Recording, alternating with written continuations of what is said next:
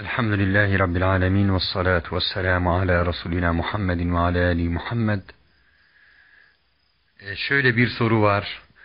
Okuyup üflemenin ve muskanın hükmü, burada okuyup üflemekten kasıt, eğer kişinin rukiye yapmasıysa bu caizdir. Çünkü rukiye, ey e, ayetlerle Resulullah Aleyhisselatü Vesselam'ın öğrettiği dualarla, meşru dualarla rükû yap yapmak caizdir.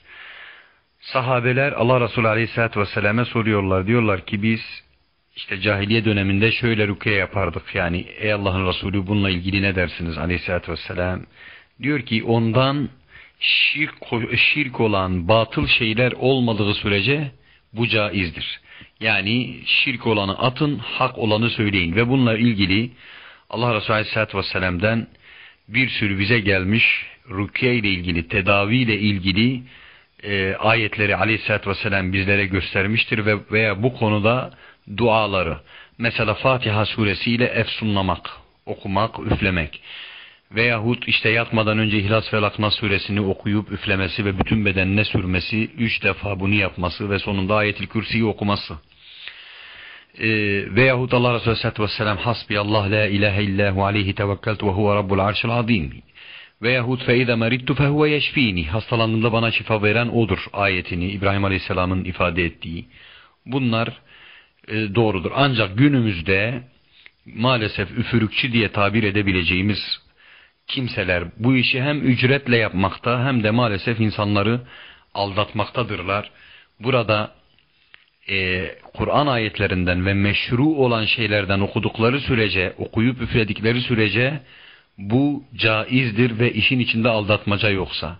Ancak muskaya gelince, muska bir tedavi yöntemi değildir. Bu konuda herhangi bir nakil yoktur ancak zaten çoğu şu an muska yapanlar çoğu batıl şeyler yazmaktadırlar.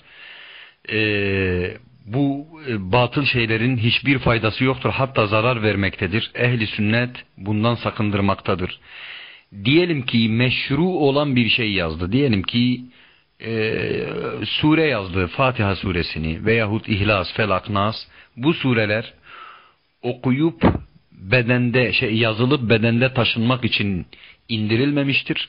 Bunların et etkisi ancak okumakla mümkündür. Yani okuyup rükye yaparak mümkündür. Dolayısıyla batıl bir şey yazan zaten batıl bir yoldadır. Batıllığı ortadadır. Ancak ayetleri yazıp muska şeklinde asmak da hiçbir e, faydası yoktur. Faydası okumaktadır. Kur'an bir yerlere asılmak için indirilmiş bir kitap değildir. En doğrusunu bilen Allah subhanehu ve teala'dır.